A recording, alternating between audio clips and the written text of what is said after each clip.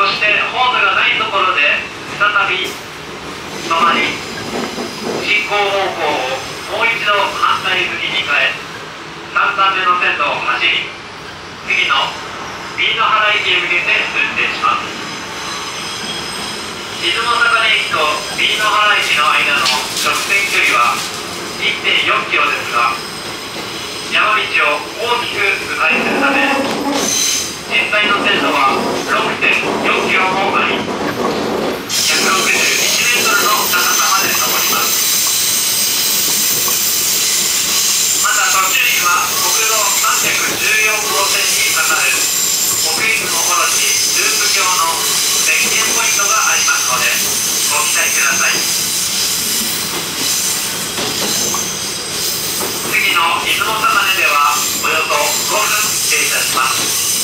駅舎の中には洋式のお手洗いもございますのでご利用ください。